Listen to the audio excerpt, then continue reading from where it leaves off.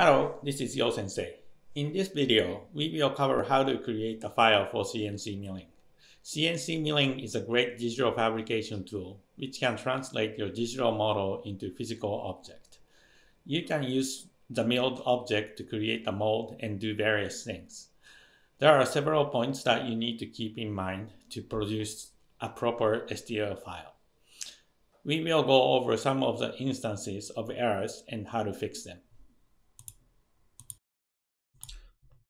Okay, let's get to it. So first, uh, we have this uh, object uh, on this layer. Uh, you can actually download uh, this file from description section. So we have this file that has uh, several detached surfaces. So you can select all of them and join. And so this one is perfectly aligned with bounding box. So we need to create a closed um, polysurface object, what you can do is to uh, always keep on uh, object snapping uh, and endpoint and uh, draw a box on the bounding box, um, three box on the bounding box. And uh, then uh, for the joint surface, you can split the bounding box, the newly created box with the surface and then you can uh, take it out and then you can join them together. Uh, make sure to show the uh, property box on the right side uh, and uh, make sure it says closed solid poly surface. Okay, so that would be the first one. For the second one, uh, when you have a situation where your file is slightly out of the bounding box and then small.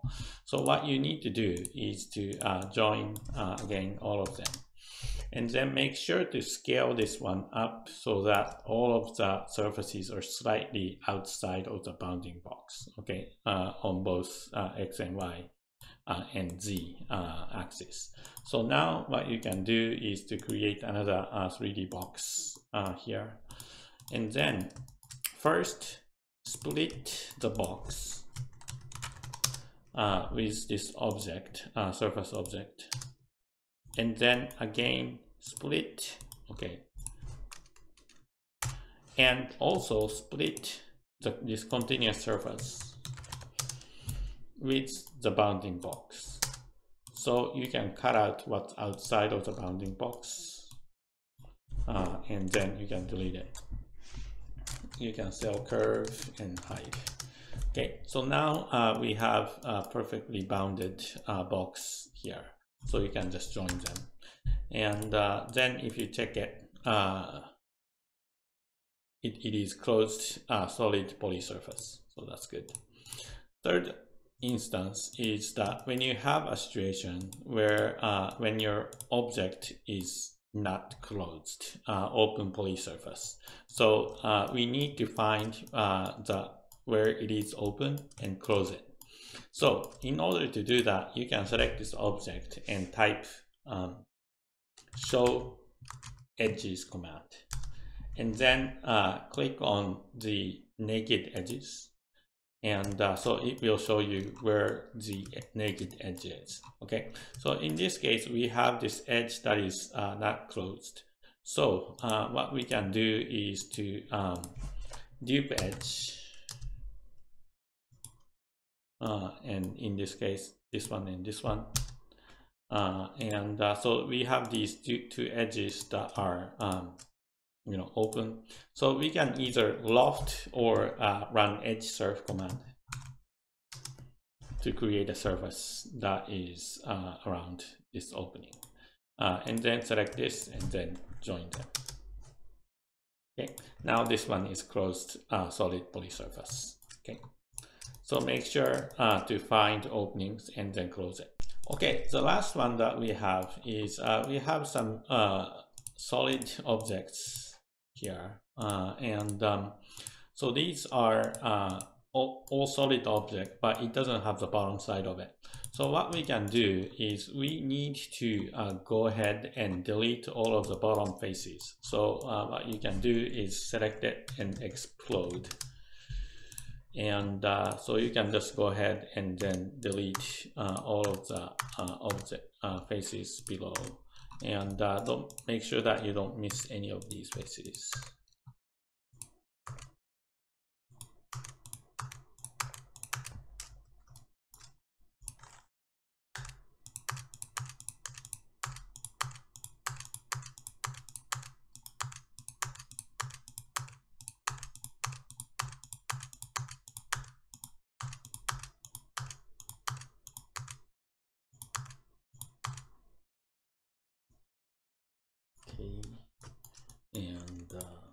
faces.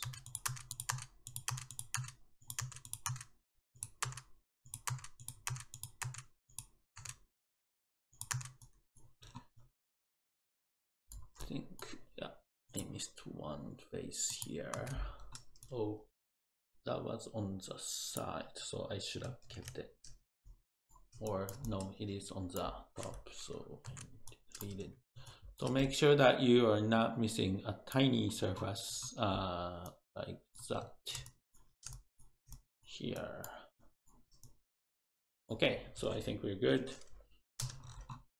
So join again. And um, and then uh, join again. Okay, so now we have this continuous open uh, poly surface. Now what we want to do is we have both side faces. Uh, so we want to create, make, uh, make this one slightly bigger so that we can trim out the side faces again as well. Uh, in this case, we have some imperfections here and there. So, um, so that we can just, you know, uh, get rid of some of the errors. So um, in this case, what we can do is to um, take this uh, 3D box.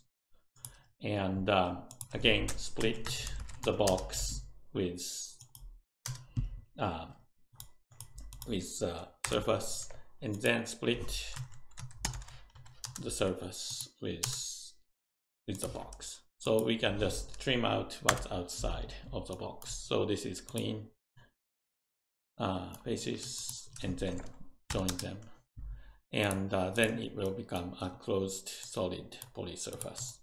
Um, I think some of these are um, also created by splitting, so uh, you can just uh, delete that. So this one is very clean uh, solid surfaces surface. Um, so now we have all of these uh, solid objects.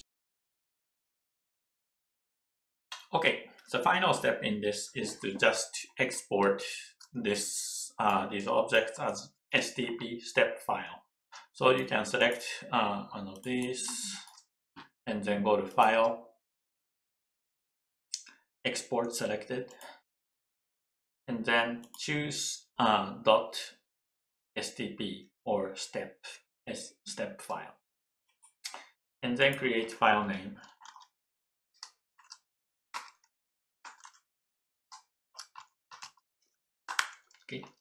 And then save uh, export. And uh, you can just use the default option for that. Uh, AP203 config control design is fine. Okay. So this is uh, the way to export uh, the step file. And uh, you should be able to submit this file to whoever is going to produce CNC. Um, I hope this methodology is going was is going to helpful for you. see you in the next video. Thank you.